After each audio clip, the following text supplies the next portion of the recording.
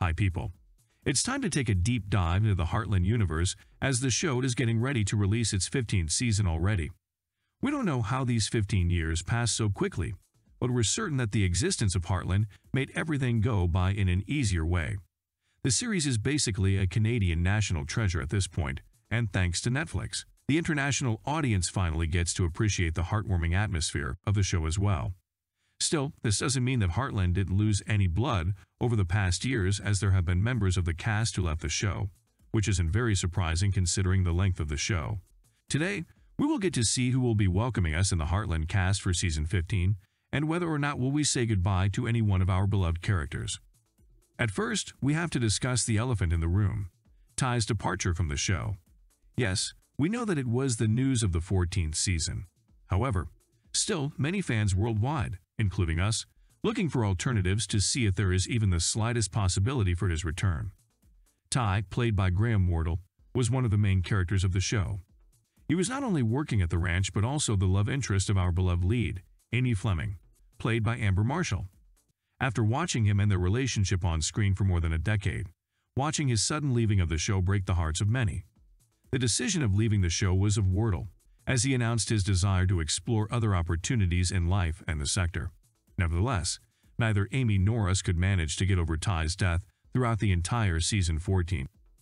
Thus, we expect season 15 to focus on this recovery process as well, and instead of going through this pain, we would like to see Ty back, which is, unfortunately, seems unlikely for now. Thankfully, Amber Marshall is still with us as Amy. She has been playing this part since her teenage years and now, as a woman in her early 30s, she continues to deliver the part of Amy successfully. One of her biggest advantages is the fact that she is pursuing a lifestyle similar to Amy's. For instance, she is also living on a ranch, riding horses regularly, and assisting a local vet. I mean, who could be Amy other than Marshall herself, right? Michelle Morgan, who is portraying Lou Fleming, Amy's sister, will also be present during this season. In season 14, we see her career flourishing as a merit even though there were some difficulties to overcome. In season 15, we expect to see more of her mayorship and how she handles unexpected obstacles. Other than her career, her love life was also left at an odd place as she decided to break things off with Mitch upon realizing she still has feelings for her ex-husband, Peter. In season 15, we will probably see her reunited with Peter and trying to figure things out in order to avoid the mistakes they did before. Another prominent cast member that we cannot wait to watch this season is Alisha Newton as Georgie Fleming Morris. As her training and college resume, we expect her to take a major step in her love life by getting engaged.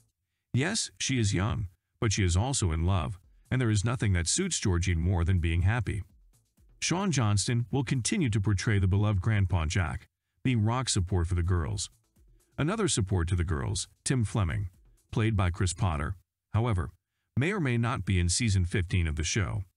Even though there is no official announcement on the issue yet, we know from Potter's statements that he is struggling to find a balance between his family and career.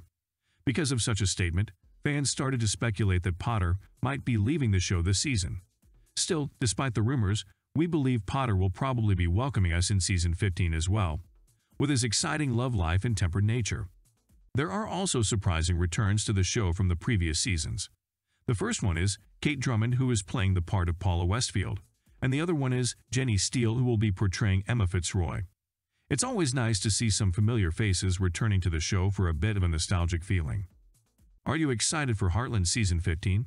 Which of the old cast members do you wish to return? Let us know in the comments below, and don't forget to like and subscribe. Thank you for watching.